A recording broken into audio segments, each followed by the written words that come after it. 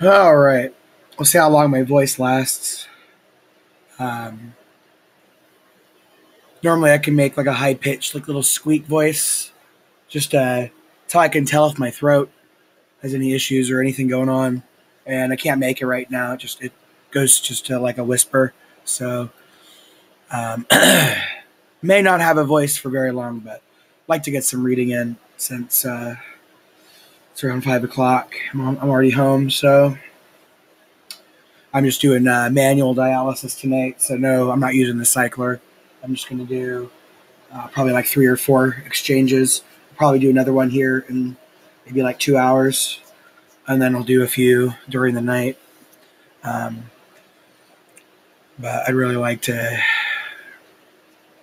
see if I can get on this a, a, a smaller sleep schedule. So I stopped getting up at ten. I hate getting up late. It's frustrating, but problem is just I'm so comfortable when I'm when I'm sleeping, and my dreams have just been so intense and so fun that it gets kind of hard to want to go back to sleep. The real life stuff is fun, but it's all it's, it's slow and not immediate. And unfortunately, I just I'm not used to that kind of thinking. So I'm used to thinking in the moment. Most of my life, I still remember all the times I used to get frustrated because my mind would just wander off to like millions of different places. But I've, I've learned to get some control over that, but it's still. Um, all right. Uh, so I'm not really following the schedule anymore. Um, I think just part of it is it's, it's, it's kind of funny, but I'm terrified, scared because I know once I start the consistent lifestyle habits, like the the big the big ones, like my sleep schedule, if I follow the strict sleep schedule that I think would work well for me, uh, God, it just it's it's it's hard for me because I'm not used to actually doing stuff for more than half the day. I'm used to just wasting my whole day, and I'm like right at that little crossroad right now that it's just it's I'm ready to move forward. But oh, it's just so hard.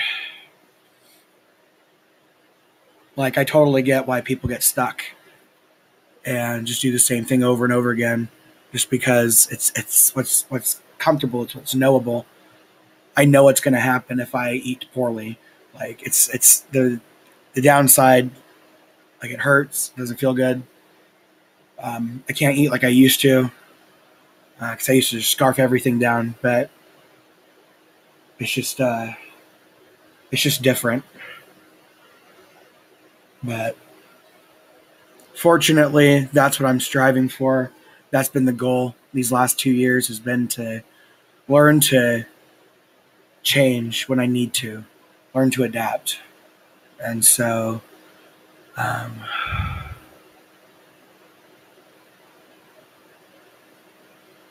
I just know that this next this next change is just going to be my whole life is going to be completely different, and I just I guess I haven't really thought that out yet.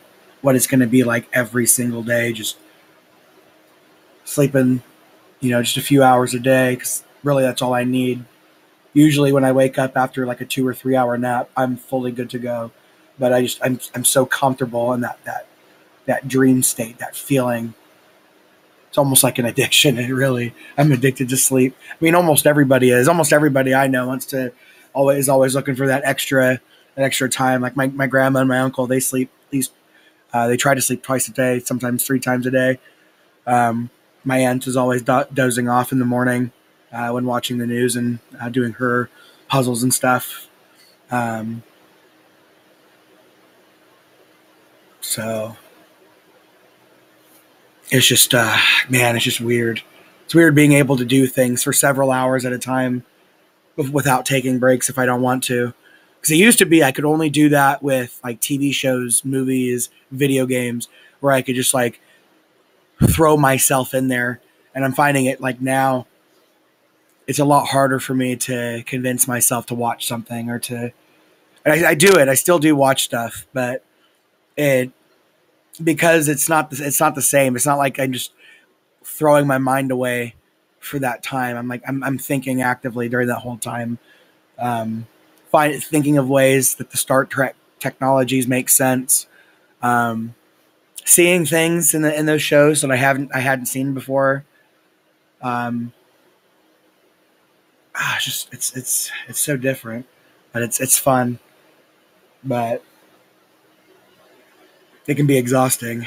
So that's why I got to keep training myself to do this. Um, so I've decided since that the first, the, of course, the first two readings I've already read um, on the 10 year reading plan for the world, uh, the great books of the Western world. I'm just going to go ahead and read from the beginning book and maybe try to get like one or 200 pages in a day. Um, anytime I take like a break or something, you can just slap on another 15, 20 minutes. Because um, really, I, this is, I'm, I the reason I'm having a bit of a struggle right now is because my head is in two different places. I want to be doing things um, like to to test my endurance. Like being able to read for several hours is just amazing. But like I know I can keep pushing it further and I have ideas if I could push it further. Like doing a like when I get into live streaming, if I can read for 24 hours, maybe do like a 24 hour live stream. That'd just be kind of fun. Just read the whole time. I, I used to do stuff like that, but I never, I never verbalized it.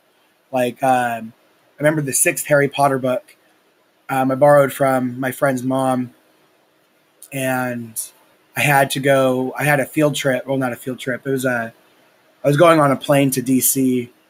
Um, I think it was eighth grade, and uh, I borrowed that book the night before, and I wanted to I wanted to finish it before the, the, the flight, and so I ended up reading the whole book in 18 hours.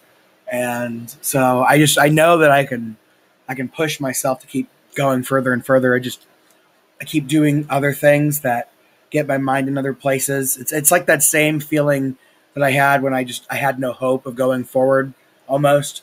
Like it's not that same feeling, but it's that same like I'd rather be doing this because this feels more important, even if it's not. Um,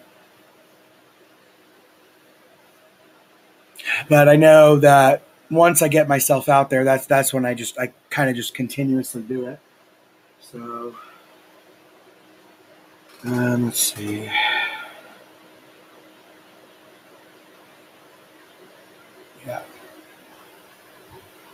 One sec.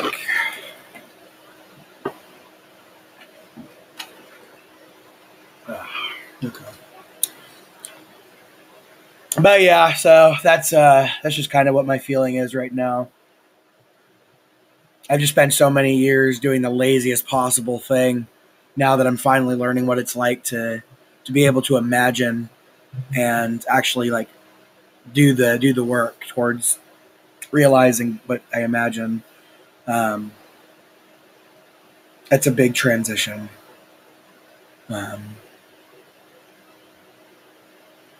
But I think the more I talk about it, that's what's been helping me. Is I, I usually, even if I, if I'm not talking to anybody, usually I'm able to just at least verbalize what I'm feeling, and um, the the longer I do it, the more I get fed up with talking about it, and then eventually I just I come up with a way to go about it, and then I fix it. So it's all a matter of time before I finally get fed up. I'm pretty fed up right now, but um, my voice is lost, and my legs are hurting pretty pretty pretty intense from the, the few squats that I did yesterday.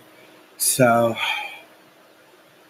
um, protein it protein it up, and then just eating a little bit less today, so that way I don't have to feel like crap. And then I just I need to get back onto a fasting schedule, get on those vegetables. Talked to my doctors the other day, and we decided that it could be a, a good a good benefit to switch my, some of my meat protein to vegetables. So, um, yeah, that that's just what I need to I need to focus on. So I guess tomorrow, I guess yeah, tonight. If, I, if I'm hungry, I'll, I'll, I'll grab that cauliflower that's in the in the freezer, or mixed vegetables. I think it's mixed vegetables actually. I'll have that, or I'll try to hold off until the morning. Find a way to keep my appetite peaked. So all right. let's go ahead and throw oops, uh, Internet Archive, uh, history.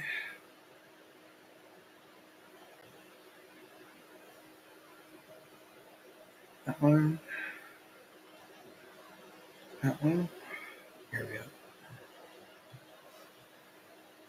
Ah, let's see, where's my glasses? Oh, that's right, my glasses are over there.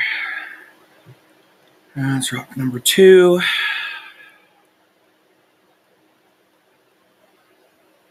Three, two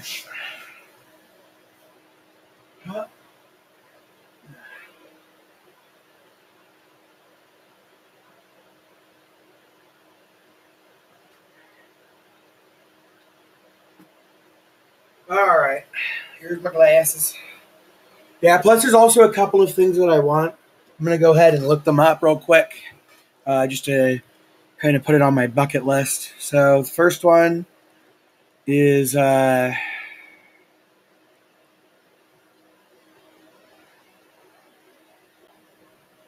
oh no, never mind. I I, I want a bike, so I need to get myself a bike so that way I can start doing a little less driving each day. And then I'd like to get uh, a projector. I think. I think that'll just that'll be this the simpler option. Um, projector would be nice, and then um, I want to get a gaming lap, another gaming laptop, one with uh, more modern stuff. Um, so that way, when I get a little further into this, I can start doing some editing and stuff, and I could do some uh, like video game gameplay and or different things like that. I can kind of expand my options for what I'm doing. So, um, first, I need to get that podcast started up though. So that's going to have to be tomorrow. Um, I'm going to use the voice recorder, 360 hours of space, uh, of voice space. So, um, I can do a lot of good stuff with that. And then go uh, do a second reading of the great books of the Western world on that, actually. It's always good to read things more than once, but what about reading it more than once at a time? So that'll be interesting.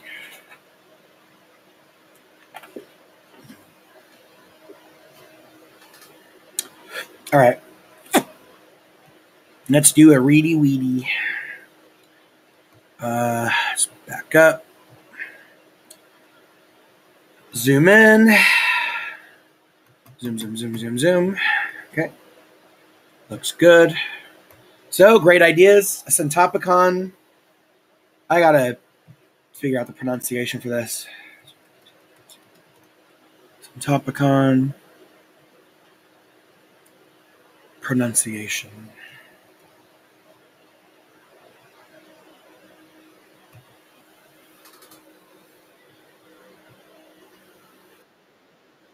Centopicon. Okay, interesting. I like Centopicon, honestly, but.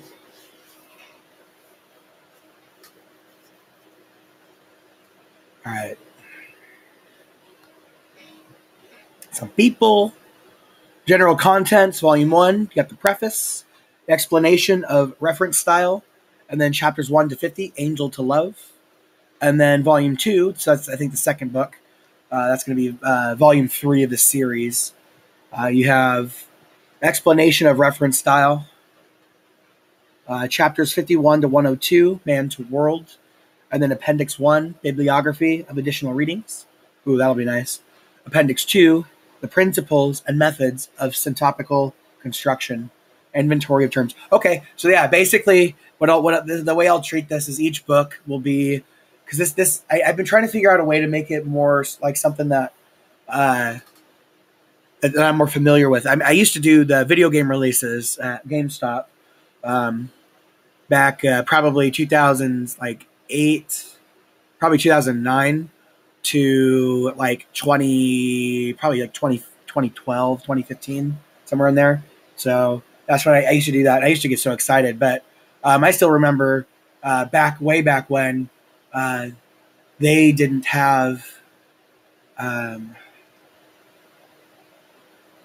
or uh, when they started doing the expansion pack, uh, kind of that that that sort of plan for like Halo Two and the Call of Duty games, the stimulus package and different things like that, and then the zombies for Call of Duty Black Ops, different things like that. So um, I used to love that shit, but I quit doing that.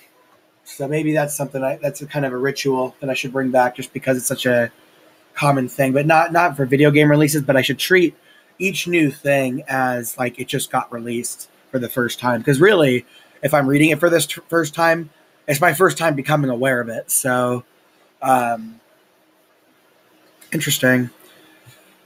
So, what this will be like the first book that I read was like the base game. It was just sort of like an introduction to everything. And then now uh, I'm, I'm buying the add on packs. I'm, I'm, I'm getting the more detailed information.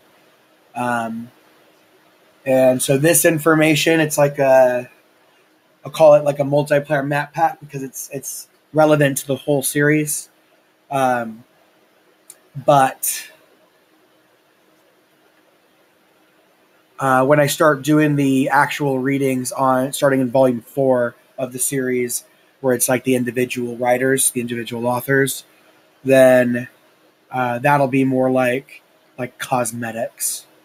Um, like I've I've gotten a brief understanding of the general ideas of the holistic sense of everything by reading the first these first three volumes, and then um, now I'm going to get into the uh, the nitty gritty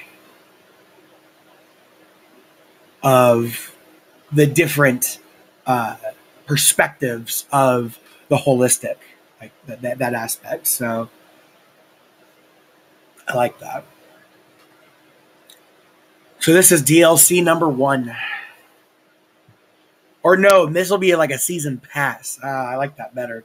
Season passes are better. So I have two season passes. If I get through both season passes now, then I'll get access to like all this extra content as I go on. I know it sounds silly to think like that, but sometimes when it comes to especially the really difficult stuff to read and like the, the stuff that you got to really like put your mental focus in because like sports uh, tv uh, video games there's really not a lot of effort to be put in except for like a first time player or first time user of the technology because never used it before but as you use it more and more you develop little shortcuts and tricks and stuff and you make things easier and so um, Yeah, that's so interesting. All right. The prince, uh, Appendix 2, the principles and methods of syntopical construction, inventory of terms. All right. Water.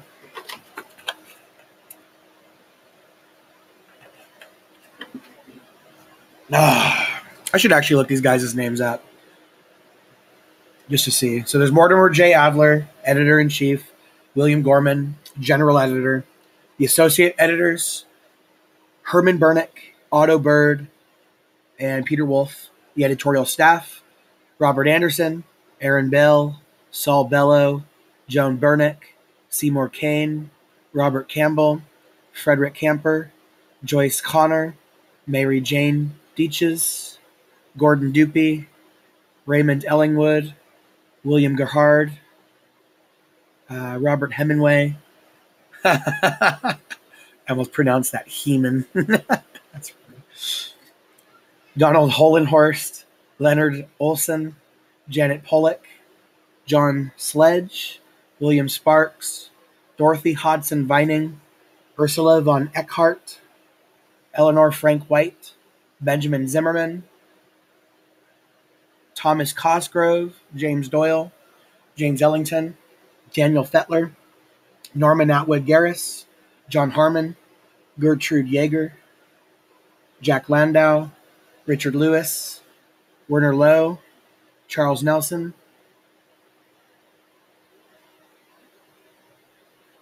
Sorry, I had to think for a second. uh, Heloise Olson, Mary Rees, Eola uh, Schofield, Shirley Shapiro, Margaret Stern, assistant editors, Virginia Colton, Ruth Gustafson, biblio, biblio, biblio, bibliographical assistants, Marie Sachi, Robert Mallam, Gladys Moore, James Vale, executive editor, George Bryson, supervisors, Martha Dubois, Lorraine Heath, Joseph J. Roddy, editorial assistants, Rosa Lee Gittleson, Miyo Urakawa, and then special consultants Arthur Hyman, Janet Calvin, Herbert Lamb, Milton Mayer, Joseph Schwab. Cool. Yeah. Hold on one sec.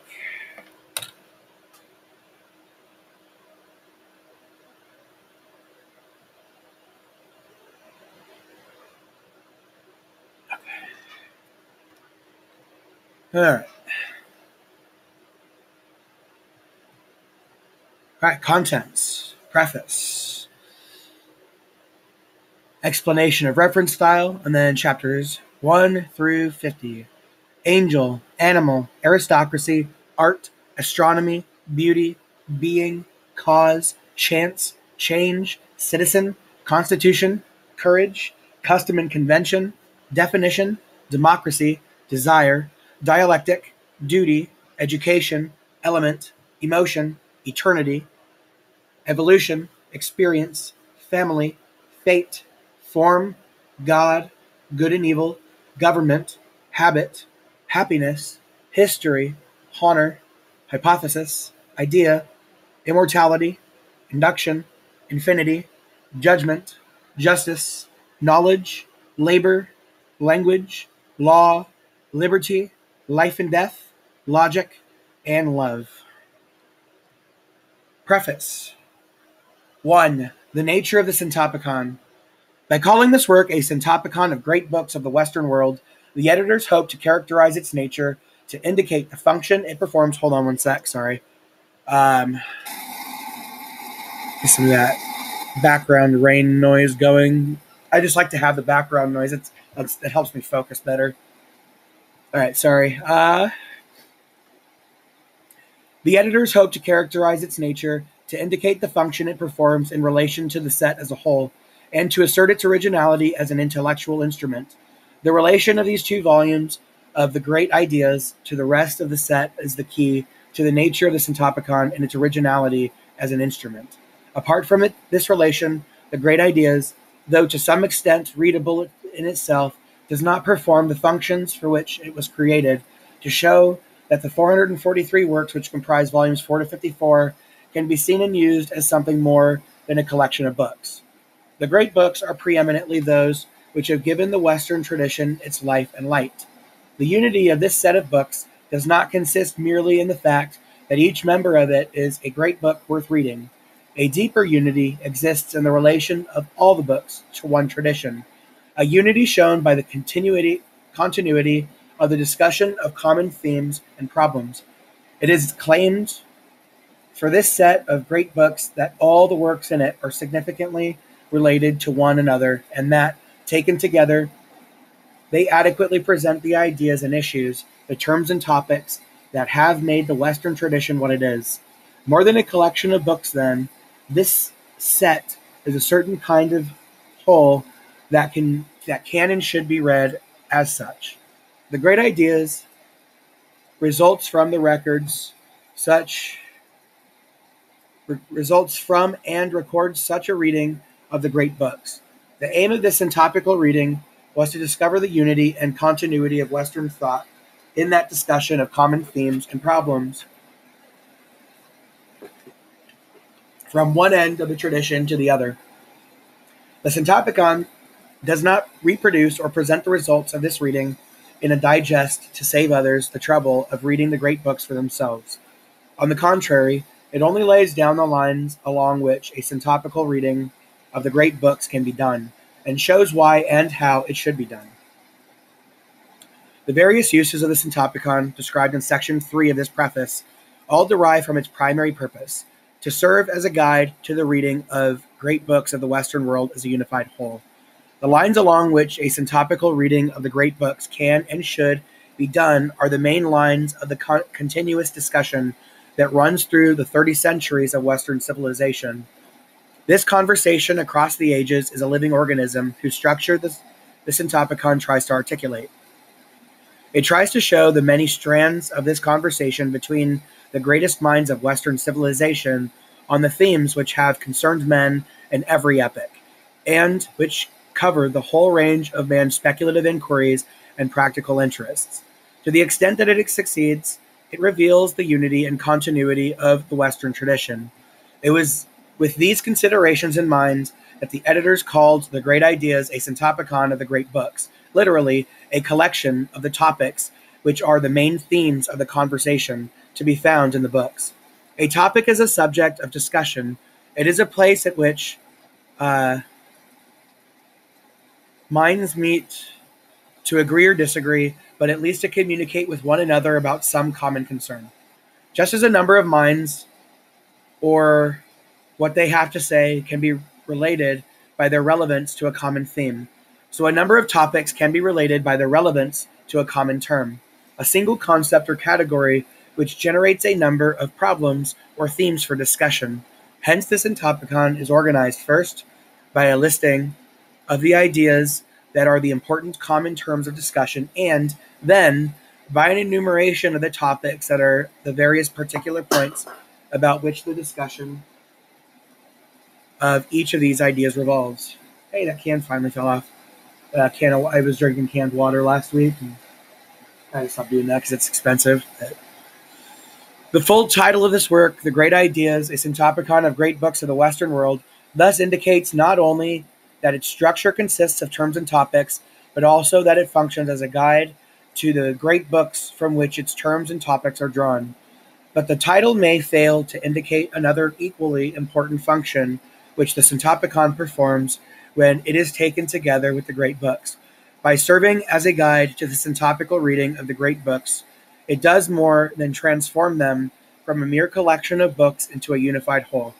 It transforms them into a new kind of encyclopedic whole, a new kind of reference library, without in any way interfering with all the values the great books have as books to be read individually.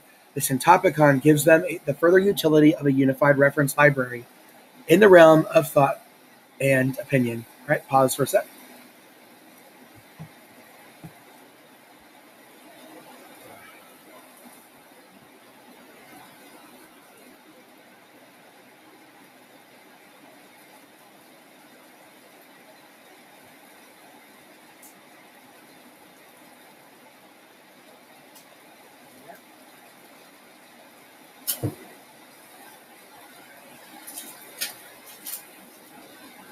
All right.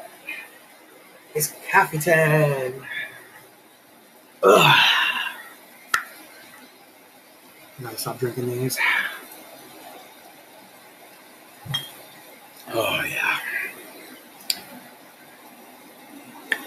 Because of the traditional and proved importance of the thought and opinion contained in the great books, the Syntopicon, and the editor's opinion, creates an intellectual instrument which is comparable to, though quite distinct from, the dictionary and the encyclopedia.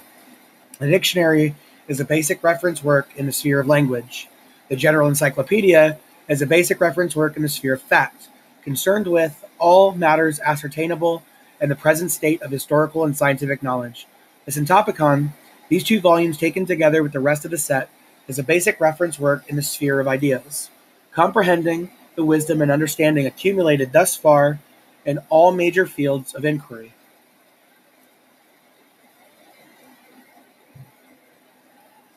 Oh, yeah. Oh, that's what I can do.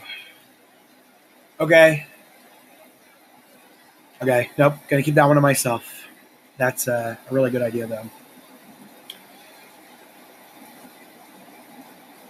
Comprehending the wisdom and understanding accumulated thus far in all major fields of inquiry.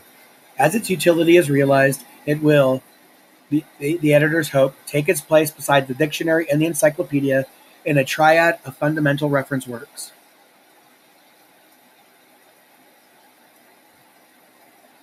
Uh, right? Two, the structure of the Syntopicon. The great ideas consist of 102 chapters, each of which provides a syntopical treatment of one of the basic terms or concepts in the great books. As the table of contents indicates, the chapters are arranged in the alphabetical order of these 102 terms or concepts from angel to love in volume 1 and from man to world in volume 2. Following the chapter on world, there are two appendices. Appendix 1 is the bibliography of additional readings. Appendix 2 is an essay on the principles and the methods of syntopical construction. These two appendices are in turn followed by an inventory of terms. I like that because then that tells you how this is built. The 102 chapters. Each of the 102 chapters is constructed according to the same pattern. Each consists of five parts an introduction, an outline of topics, references, cross references, and additional readings. The inner structure of the Syntopicon is co- uh, constituted by the order and relation of these five parts, and by the integral relation of the inventory of terms to the 102 chapters as a whole.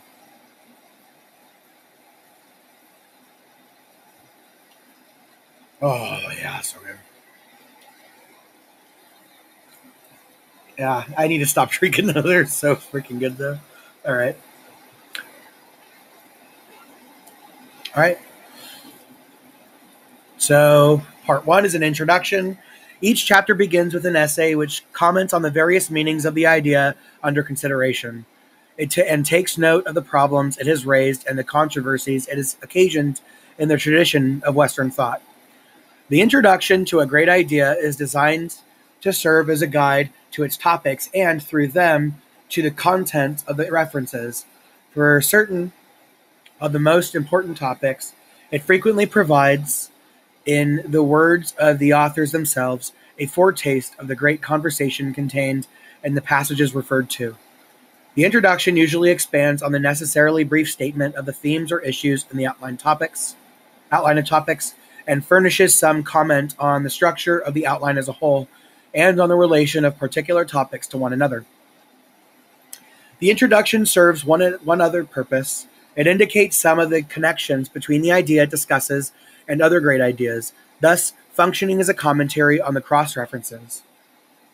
In some cases, the introduction also calls attention to the way in which certain works, uh, excuse me, recommend recommended. No, gosh, I'm sorry. In the additional reading, supplement the references to the great books in the discussion of certain aspects of the idea under consideration. Two, outline of topics. In each chapter, the outline of topics follows the introduction it states the major themes of the conversation to be found in the great books on the idea of that chapter. It exhibits the internal structure of the idea by presenting its topics in relation to one another. There are about 3,000 topics in the Syntopicon as a whole, an average of 30 to a chapter, though the actual number varies from as few as six topics in a chapter to as many as 76. The 3,000 topics provide a statement of the scope and variety of subjects with which the great books deal in a substantial and significant fashion. Since the topics are divided among 102 chapters, according to the great ideas under which they fall, the user of the Syntopicon can find a particular topic by turning to the chapter on the idea, which is a central term expressed in the statement of that topic, or, if not actually present in the phrasing of the topic, is implied by it. Almost all the topics involve one or more terms other than the name of the great idea under which they fall. Hence, by consulting the inventory of terms, the user of the Syntopicon can ascertain whether the particular subject in which he is interested in, or which he is interested, is represented by one or more of the 3,000 topics. As will be seen below, the prime function of the inventory is to enable the user of the Syntopicon to find topics in which he is interested and which he could not otherwise find except by examining the outlines of topics, chap- chapter by chapter. Since the references to the great books are organized by topics, the individual topic, rather than a great idea, is the elementary unit of the syntopicon. From the standpoint of the references,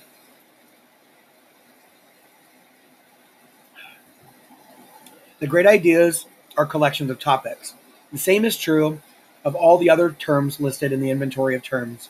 For each of these term, for each of these, one or more topics are the headings under which the discussion of the subject can be found in the great books. The user of the Syntopicon must, therefore, always use a topic rather than a term to discover what the great books have to say on a particular subject. However, with the help of the inventory of terms, he can always use a term to find the topics which either state or approximately represent the subject of his interest. For the convenience of the reader, the outline of topics in each chapter is keyed to the pages of the reference section, which immediately follows. In the outline, the number to the right of a particular topic indicates on which page of the reference section it begins. References. The references are the heart of each chapter. As the introduction and the outline of topics are designated to help the reader use the references, so the references organized topically are, des- are designed to enable him to turn to the great books for the discussion of the particular subject. For each topic, they locate, by volume and page, the relevant works and passages and great books of the Western world. There are about 163,000 references in the Syntopicon as a whole, an average of 1,500 to a chapter, though the actual number varies from as few as 284 references in a chapter to as many as 7,065. Oh my gosh.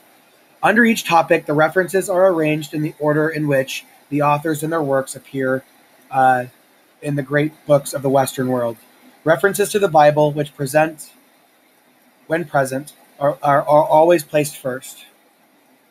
The order of references enables the user of the topicon either to follow the discussion of some theme through the great books of the historical sequence, or to select particular authors or to the authors of a particular period according to his interest. Ideally, a syntopical reading of the great books in relation to any single topic should cover all the works or passages cited under that topic. Ideally, when a such a reading should proceed in the first instance in the first instance at least in the order in which the references are presented. Reading the materials in chronological order enables the reader to follow the actual development of thought on a topic.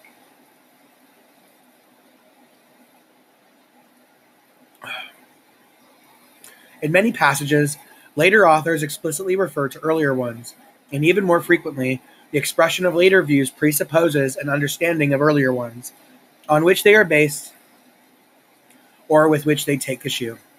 But the individual reader may deviate from this ideal procedure in a number of ways, according to his particular interests. He may wish only to sample the materials referred to under a given topic, or he may wish to examine what a certain group of authors have to say on a particular topic. The reader may know sufficiently well the position of certain authors on the topic in question, and so many turn his attention to other authors whose works are cited there. Or he may wish to examine thoroughly the thought of certain authors while merely forming a general impression of what others have to say.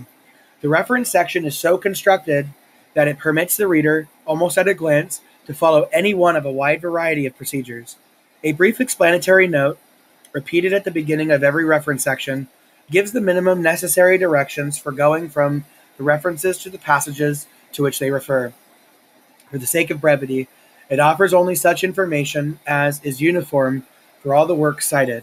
If the reader wishes complete information concerning the way in which each particular work is cited, he will find this set forth by authors and titles in the explanation of reference style, which immediately follows this preface, and is also printed for the reader's convenience at the opening of Volume 2. The explanation of reference style contains a complete account of all the symbols and abbreviations used in the reference section and gives examples of the usual typographical form of the references. Only one further point requires comment here. In some chapters, a few topics contain no references. These topics serve in the outline as headings for other topics grouped analytically under them.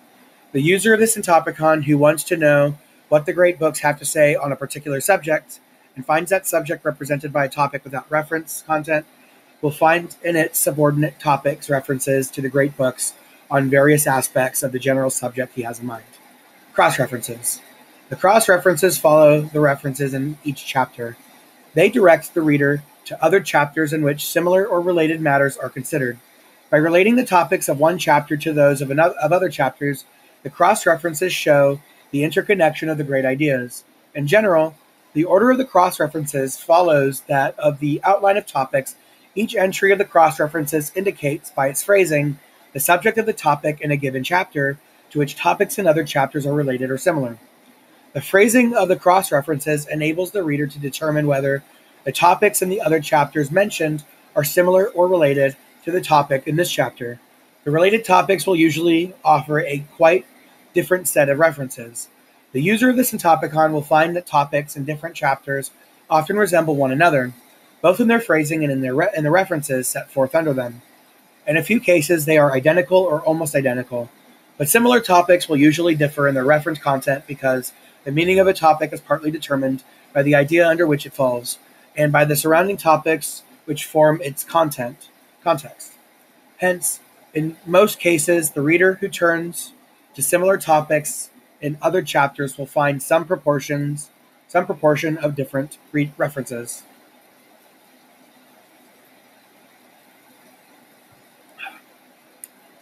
Additional readings.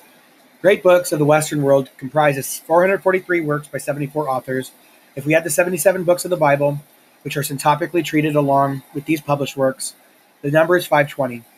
But this large number does not represent all the books which make signal contributions to the great conversation in the sphere of each of the great ideas. The list of additional readings, which is the last part of each chapter, is a list of books recommended as companions to the works and passages cited in the reference section. For the ideas and topics of each chapter, they supplement or amplify the discussion to be found in the great, the great books. They represent some of the works in the wider field of literature in which the great books occupy a central position.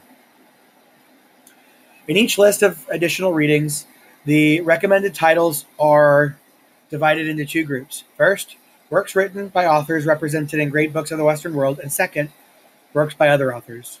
Each group is listed chronologically. Whenever they are available, translations of foreign works are suggested. The existence of English translations is always indicated by the use of English titles, these are usually accompanied by the title of the in the original language. Uh, excuse me. I'm gonna put the coffee back in the freezer. Yeah, yeah.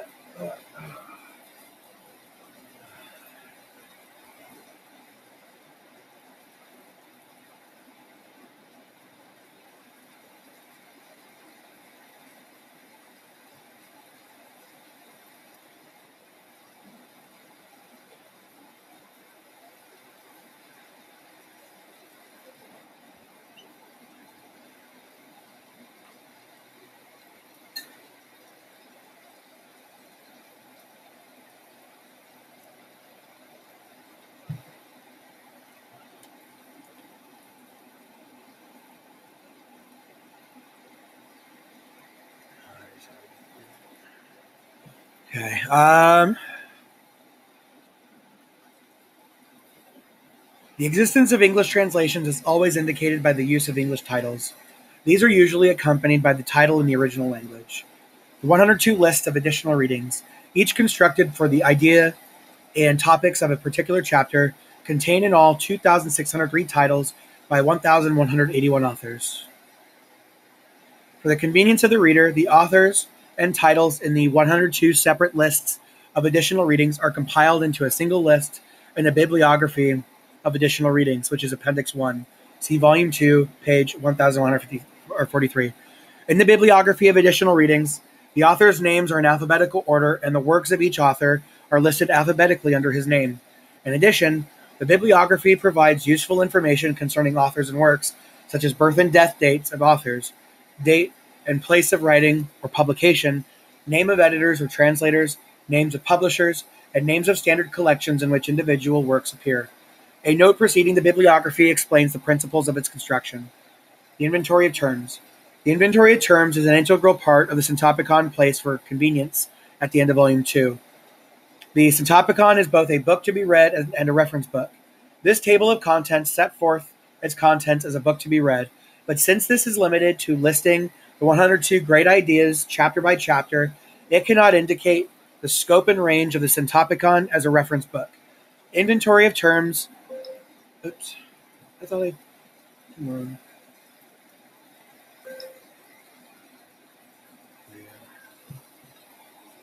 on. Uh, The inventory of terms performs that function. It serves as a table of contents for the Syntopicon as a reference book. The person who wishes to use the Syntopicon as a reference book in order to learn what the great books have to say on a particular subject must be able to find that subject among the 3,000 topics. The primary function of the inventory of terms is to enable him to find the topic or topics which clearly express or approximately represent the subject of his inquiry. It does so by, by citing for each term listed the topics. Okay, so this is literally AI. it's just it's just limited because it's on a it's on in a book it's in book form. The topics in which that term is a principal element. It cites these by giving the name of the chapter in which the topic appears and the number of the topic in that chapter. The reader can find the topic in which he is interested by looking in the inventory for the term or terms that would appear in a statement of the subject. The user of the Syntopicon may have a broader interest that can be expressed in a particular topic. He may wish to examine the whole range of discussion of the basic concept, whether that be one of the great ideas or some other term. This may involve not one or two topics, but a large number, as is certainly the case for the great ideas, and for many other important concepts as well, since the inventory of terms cites all the topics in which each term is significantly involved, it enabled the reader it enables the reader to investigate the whole range of the discussion in the great books relevant to that term. Oh yeah, water.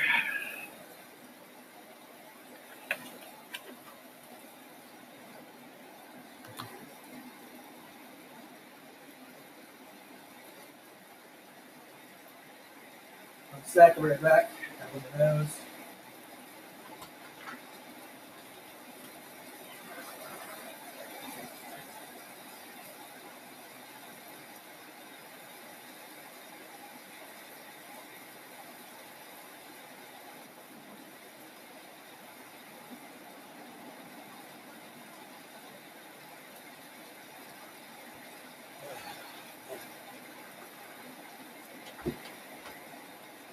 hurry up and finish some of this stuff so that way I can set up my dialysis stuff. I think I'm going to do the cycler actually, just because it's easier to do my readings while hooked to that.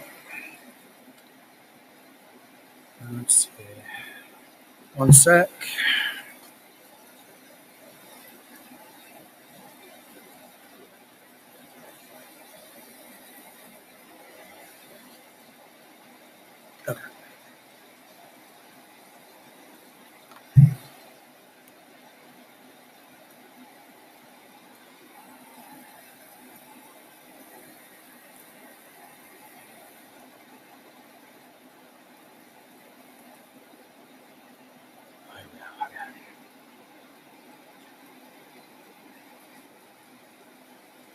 Right. The reader can find the topic in which he is interested by looking in the inventory for the term or terms that would appear in a statement of the subject. The user of the Syntopicon may have a broader interest that can be expressed in a particular topic. He may wish to examine the whole range of discussion of a basic concept, whether that be one of the great ideas or some other term. This may involve not one or two topics, but a large number as is certainly the case for the great ideas and for many other important concepts as well. Since the inventory of terms cites all the topics in which each term is significantly involved, it enables the reader to investigate the whole range of the discussion in the great books relevant to that term. Among the terms listed in the inventory are the names of the 102 great ideas. This does not duplicate the information furnished by the table of contents. For each of the great ideas, the table of contents locates only the whole chapter which deals with the great idea, whereas the inventory of terms usually cites topics in many other chapters in addition to the chapter on that idea itself.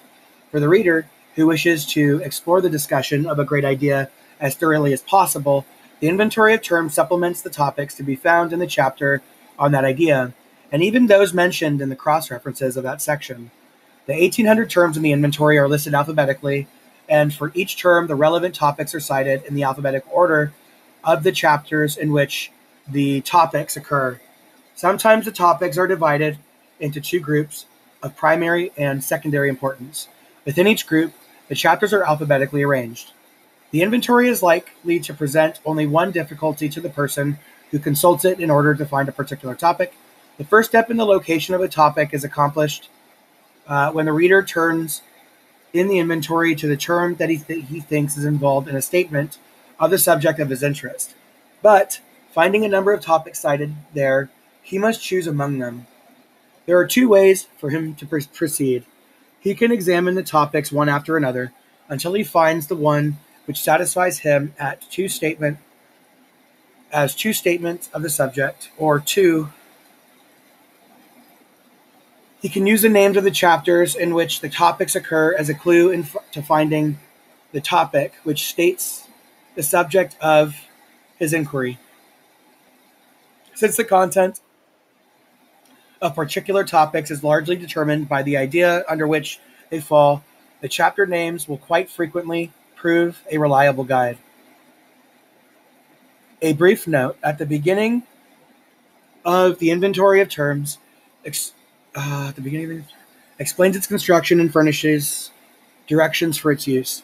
Nothing more need be said here of its structure or of its utility in making the Syntopicon a reference book.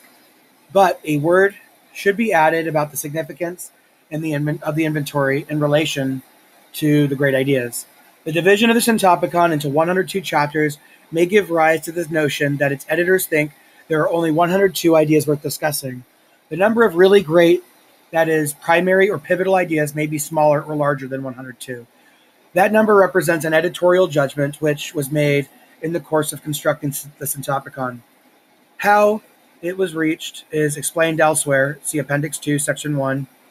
But here it should be said that it does not represent a judgment by the editors that the 102 terms selected by them are the only concept or ideas which have notable significance in the tradition of Western thought. The inventory of terms manifests exactly the opposite judgment. Its 100 or 1800 words and, or phrases expresses important concepts. Though many of these will immediately be seen to have much less comprehensive or critical meaning than the 102 major terms of the Syntopicon, they all have the general currency or importance in some special field of inquiry. They also represent notions or topics which fall under one or more of the 102 great ideas. The principles and methods of syntopical construction. The essay on the principles and methods of syntopical construction is Appendix 2. It is intended as a, uh, as a supplement to this preface. The foregoing brief descriptions of the parts of the syntopicon indicate its structure, but they do not explain how it was constructed. The work of creating such each part of the Syntopicon raised many difficult intellectual and editorial problems. These problems, and especially the principles and methods by which they were solved, may be of interest to the reader after he has has had some experience in using the Syntopicon, but probably not before. The editors decided to make the essay on the Syntopicon's construction an appendix to the work, rather than burden the preface with an account of the methods employed and an exposition of the principles adopted. While freeing the preface from the burden of fuller explanations, they nevertheless hoped to provide systematic uh, answers to questions which might arise in the reader's mind as a result of using the Syntopicon. 3. The uses of the Syntopicon. The foregoing discussion of the nature and structure of the Syntopicon has expressed the purpose for which it was designed, but it does not fully state all its possible uses. There are four basic types of usefulness which the editors hope the Syntopicon will have. Two of these have already been mentioned.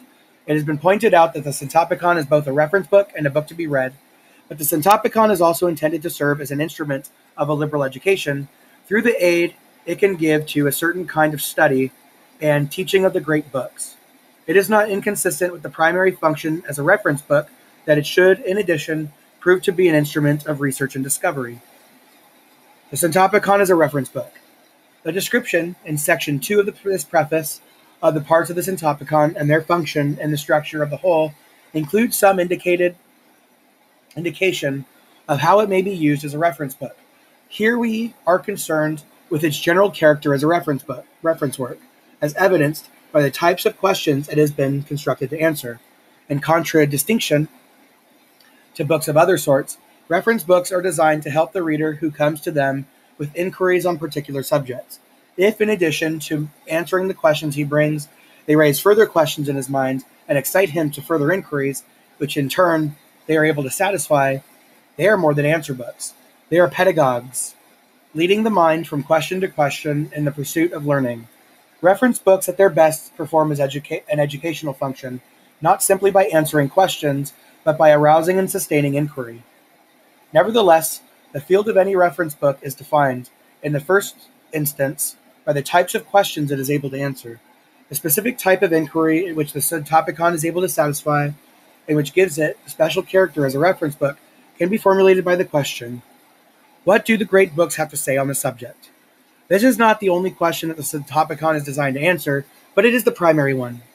The topics are the units, though, through which the Syntopicon functions as a reference book, since it is under the topics that the reference references to the great books are assembled, and it is through reading the works or passages recommended by these references that the person who consults the Syntopicon finds the answer to his question.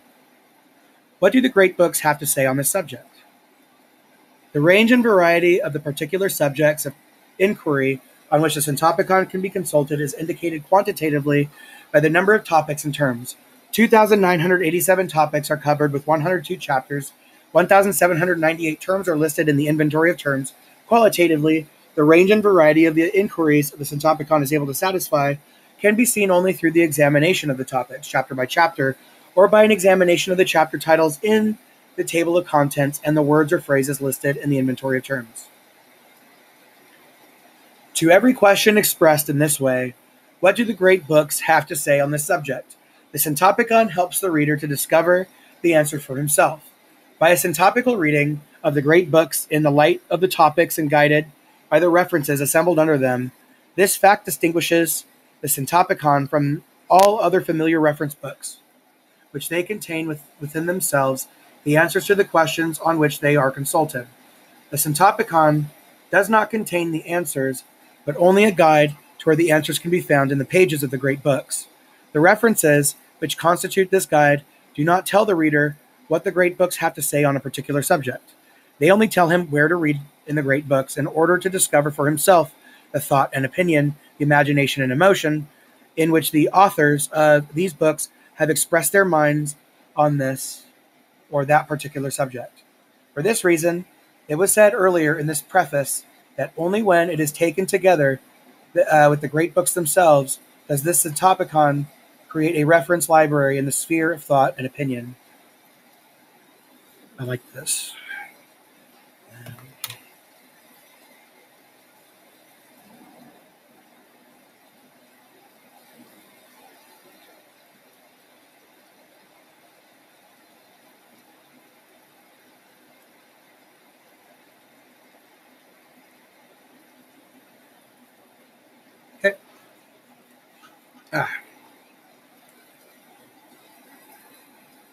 While this is true for the primary type of question, which the Syntopicon is designed to answer through its systems of references to the great books, it is not true, at least not to the same extent, for the subordinate types of questions now to be considered.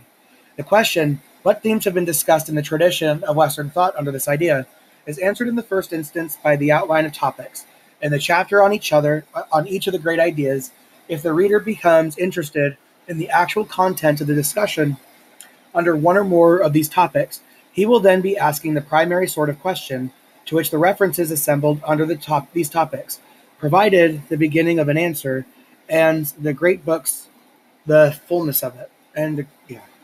The question to which of the other great ideas is this idea related and how is it related? Is answered by the cross references in the chapter on each of the Great ideas. The cross references enumerate the topics in other chapters which are related to the topics covered by the idea in question. The introductory essay on the idea also usually contains references to other introductions in which related ideas are considered. By reading the introduction and examining the cross references, a person can use this Syntopicon to discover, at least initially, the connections between one great idea and, the, and others. The question, what books other than those published in this set contain important discussions of this idea. It is answered to some extent by the additional readings listed in the chapter on each of the great ideas. By the additional readings listed in the chapter on the, uh, sorry, The question, what is the history of the idea, its various meanings, and the problems or controversies it has raised, is answered at least initially by the introduction to the chapter on each of the great ideas. Here as before, if the reader's interest is aroused to further inquiry, the topics, the references under them, the passages in the great books referred to, and the books listed in the additional readings provide a means for a fuller exploration of the idea and varying degrees of thoroughness and ramification. 2. The Syntopicon is a book to be read. The, with respect to its 102 essays on the great ideas, the Syntopicon is first of all a book to be read. These essays are arranged in alphabetical order of the ideas, but they need not be read in that order. Each is intended to be intelligible in itself, independently of the others. The reader can therefore begin, according to his interests, with any one of the introductions uh, to the great ideas.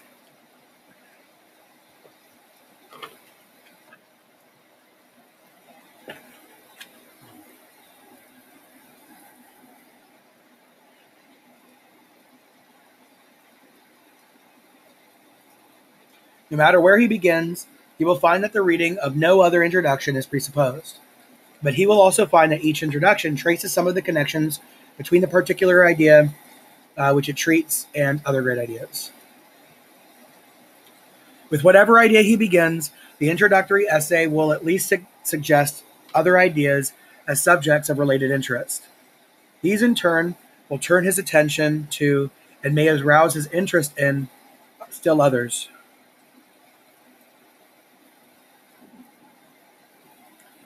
Since each of the great ideas is directly or remotely related to many others, perhaps to all, through a network of connections radiating from each idea as a point of origin, the reader, starting at any point in the realm of thought, can explore the whole of it by going from any one idea to all the rest by circuits or pathways of his own choosing.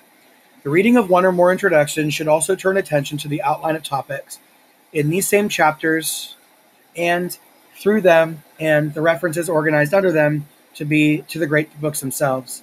As integral parts of the Syntopicon, the introductions to the great ideas are not intended to satisfy the reader's interest, but rather to arouse it, and then direct it to the great books. The name introduction specifies the function these essays were designed to perform. When they function effectively as introductions to the outlines of topics and the references, they implement the use of the Syntopicon not simply as a reference book, but as an instrument of liberal education. 3. The Syntopicon is an instrument of liberal education. The Syntopicon serves the end of liberal education to the extent that it facilitates the reading of the great books and beyond that, the study and teaching of them. To make the nature of this educational contribution clear, it is necessary to distinguish between the integral and syntopical reading of great books. Integral reading consists simply in reading a whole book through, but syntopical reading does not consist simply in reading parts of a book rather than the whole. It involves the reading of one book in relation to, to others, all of them relevant to the consideration of the same topic. One sec.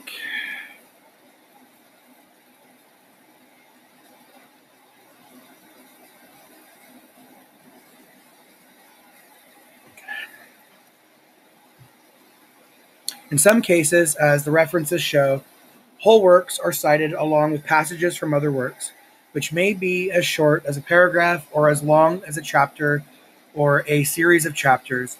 For the most part, a syntopical reading consists in reading passages of varying length rather than whole works, but the point re- remains that the essence of syntopical reading lies in the juxtaposition of many authors under the same topic and, in consequence, the reading together of their works in whole or part. Neither of these two types of reading can ever be a substitute for the other, nor can it be taken, nor can either be taken as sufficient in itself. On the contrary, each is incomplete without the other. Those who begin by reading in the great books and reading them syntopically must eventually read at least some of them integrally. In, integrally. Those who have already read some of the great books through must read them syntopically to discover what an integral reading of the great books seldom reveals, except perhaps to the most mature students or conscientious scholar. For each of these two sorts of persons, the beginning reader and the more advanced student or scholar, the syntopicon functions differently, and the syntopical reading of the great books serves a different function, different purpose. Ah,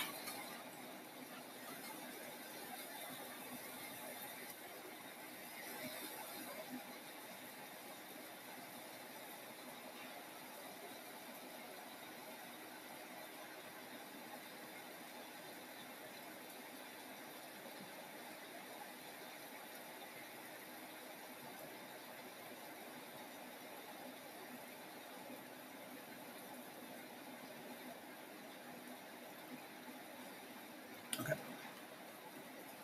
For the beginning reader, in the extreme case, a person who has read none of the great books, a syntopical reading done in accordance with the references under every uh, even a few topics, works in three ways initiatively, suggestively, and instructively. It works initiatively by overcoming the initial difficulty that anyone faces when confronted by a collection of books as vast and, in a sense, as overpowering as great books of the Western world. The problem is where to begin and in what order to proceed. There are many solutions to this problem, usually in the form of courses of reading based on different principles of selection, but these usually require the reading of whole books or, at least, the integral reading of large parts of them. It is a matter of general experience that this kind of solution seldom achieves the intended result. A syntopical reading of the great books provides a radically different sort of solution, which promises to be more effective. It initiates the reading of the great books by enabling persons to read in them on the subjects in which they are interested, and on those subjects to read relatively short passages from a large number of authors. It assumes only that every edu- educa- educable mind has some interest in one or more of the themes, problems, or ideas on which the great books touch. A syntopical reading may also work suggestively, starting from a reader's existing interest in a partic- particular topic. It may arouse or create an interest in other topics related to those which initiated his reading in the great books. The syntopical reading of a collection of authors under a particular topic may also impel the reader to look beyond the passages cited. Except when they cite whole works, the references cite passages which necessarily exist in a context. Ultimately, the context of a whole book, few of the, these passages are absolutely self contained. For few of them can it be said that it will be finally satisfactory to read them without looking further into the author's thought. Hence, proceeding along the natural lines of his own interests, the reader may be led from the reading from reading small parts of certain books to reading larger parts and eventually to reading whole books. If this process is repeated, each syntopical reading may occasion and stimulate a more and more extensive integral reading of the great books. Working initiatively and suggestively, syntopical reading opens the great books at the pages of maximum interest to the individual and, by the force of the passages read and their dependence on context, carries him from reading parts to reading the reading whole works. Syntopical reading works instructively when it guides the mind in interpreting and understanding the passages or uh, works being read. It does this in three ways. First, the topic in connection with the passages passage is being read serves to give direction to the reader in interpreting the passage. But it does not tell him what the passage means, since the passage cited may be relevant on the topic to the topic in any one of a number of ways. Hence, the reader is called upon to discover precisely what relevance the passage has to the topic. To learn to do this is to acquire a major skill in the art of reading. Second, the collection of a number of passages on the same topic, but from different works and different authors, serves to sharpen the reader's interpretation of each passage read. Sometimes, when passages from the same book or, uh, or author are read in sequence and in the context of one another, each becomes clearer. Sometimes the meaning of each in a ser- of a series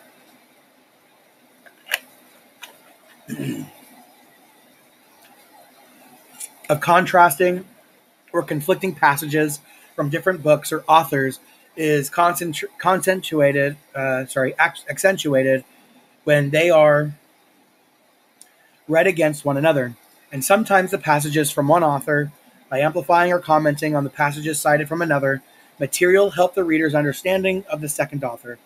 Third, if the individual does a syntopical reading of the great books under a number of distinct uh, topics, the facts that the same passage will often be found cited under two or more topics will have its instructive effect.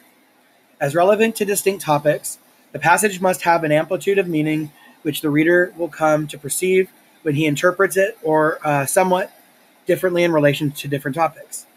Um, such multiple interpretation not only is a basic exercise in the art of reading, but also tends to make the mind habitually alert to the many strains of meaning which any rich or complex passage uh, can contain. In this description of the ways in which a syntopical reading instructs in the art of, of reading the great books, we have emphasized only the influence of the topic under which the reading is done and the effect of reading one passage in relation to another or in relation to several distinct topics, but to assure or reinforce its instructive effect, two other factors may operate in the background of a syntopical reading. One is the whole outline of the topics, which places a particular topic in the, in the context of other topics under the same idea. The other is the introduction to that idea, which may help the reader to interpret the particular topic, thereby increasing the effectiveness of that topic as a guide to the interpretation of the works or passages referred to under it.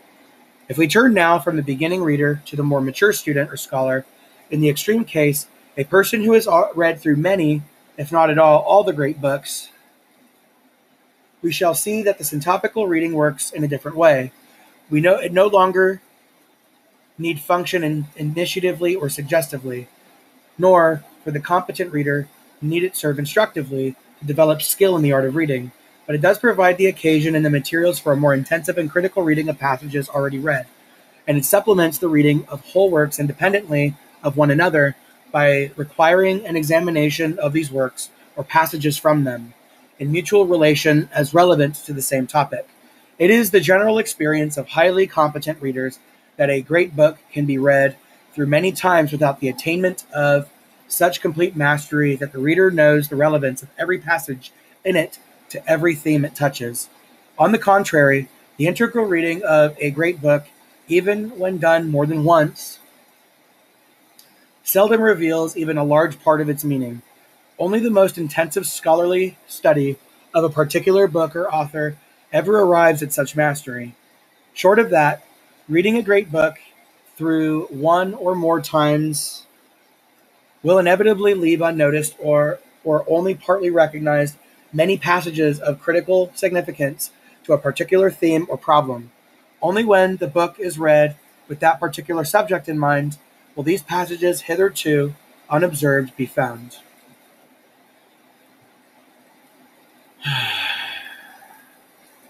okay. The truth of this can be verified by accomplished readers of the great books if they will examine under particular topics passages from books they have already read or even studied to some extent. Unless their previous reading of the books was done in the light of a particular intellectual interest represented by this topic, they are likely to find some passages they never saw before, or at least never fully recognized as having the significance they take on when read syntopically. In the light of this topic, and in relation to other works and passages relevant to the same theme. The Syntopicon can thus serve those who have already done, to a greater or less extent, an integral reading of the great books. The method of syntopical reading not only provides a different and rewarding way of reading them, but also carries the study of them to deeper and deeper level levels of understanding. It overcomes the defects of the ordinary integral reading in several ways. It involves reading the great books in relation to one another uh, rather than in isolation. It supplements the knowledge of whole works by con- concentrating on the significance of parts.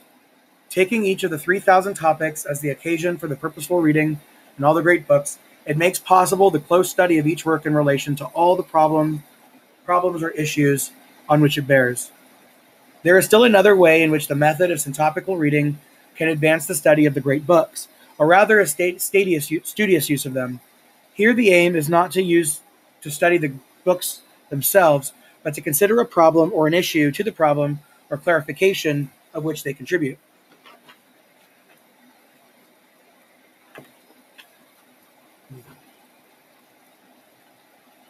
The particular problem may involve many topics in one or more chapters. It may involve a number of great ideas and many subordinate terms. The organization of the syntopicon enables the student of such a problem to discover the range of the terms and topics traditionally involved in the consideration. The references enable him to examine systematically in their chronological order or in any other any other order he wishes. The record of Western thought concerning this problem so far is contained in the great books. The additional readings supplement those uh, material by citing other books which bear upon the problem more or less directly. It does not seem an exaggeration to say that a person who has done all this syntopical reading suggested by the references and the additional readings on a particular problem will have a fairly adequate knowledge of that problem and its proposed solutions in the development of Western thought.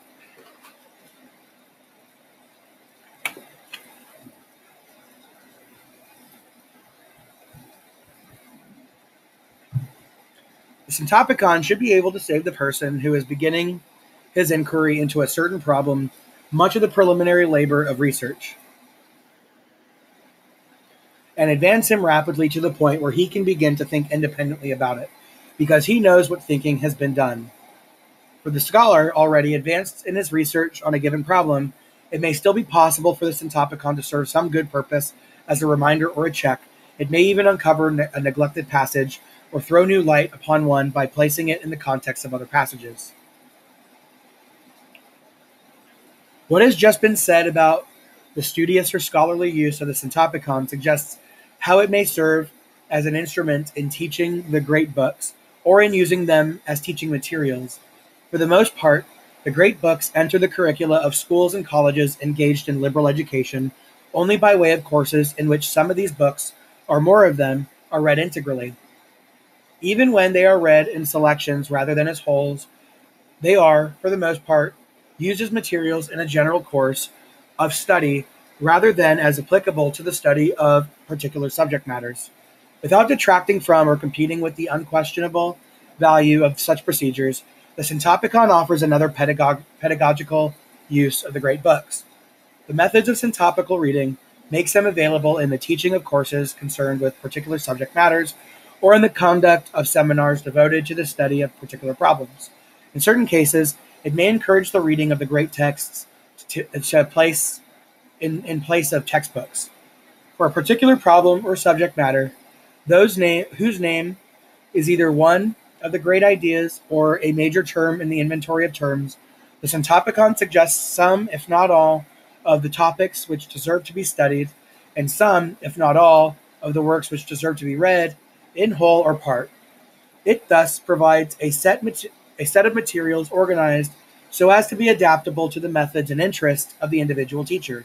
For example, as one extreme, the teacher can use the Syntopicon merely as a guide to supplement to supplementary reading. At the other extreme, he can use it to construct his own set of textual materials selected from the references and the additional readings and organized in a framework of a sequence of topics. 4. The Syntopic, Syntopicon as an instrument of discovery and research. What has already been said about the use of the Syntopicon by the serious student, or even the advanced scholar, in the sphere of a particular problem or subject matter obviously covers part of the Syntopicon's utility as an instrument of research or discovery. But there are three special types of inquiry for the pursuit of which the Syntopicon seems to be especially adapted. The first of these is the study of the history of ideas. The chapter on each of these 102 great ideas uh, present and uh, presents the record of thought in the form of references to the great books organized under each topic, under the references are arranged in the order in which the authors and works appear in the set of great books, and since, with few exceptions, there is a strictly chronological order, the record of thought is presented in an order suited to the historian's interest. The additional readings which supplement the great books is in the record are also arranged chronologically. Hence, the Syntopicon provides an organization of materials eminently useful to the scholar engaged in the historical study of ideas.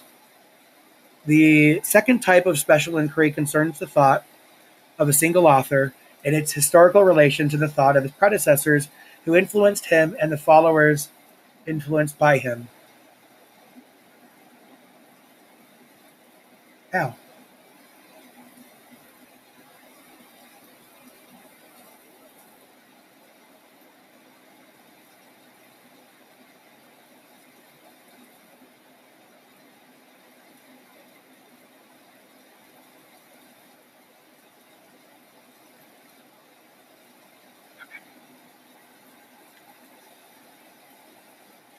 Third type of special inquiry is limited to the thought of a particular period rather than a particular author.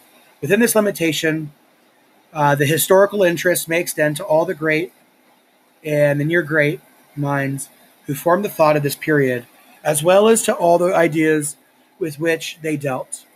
So far as the formative minds of the particular period are represented by authors of the great books and by other authors cited in the additional readings, the Syntopicon can assist such research instead of using its references vertically from one end the, of the tradition to the other, as would the student of the history of an idea. The student of an epic of thought would cut through the references horizontally. He would take all the authors and books which fell within the period under consideration. He would examine the materials referenced to under every idea or topic which appeared to have been considered by the minds of the period of that period. In these three types of historical inquiry, the Syntopicon is at best an auxiliary instrument in the service of scholarship. If it proves to be more than that for the ordinary student, it will probably be less than that for the accomplished scholar whose documentary resources in a particular field are more extensive than those from which the Syntopicon is constructed. This is especially true of those problems in the history of ideas uh, which have been investigated by prolonged research, but some problems contribute to the study of these.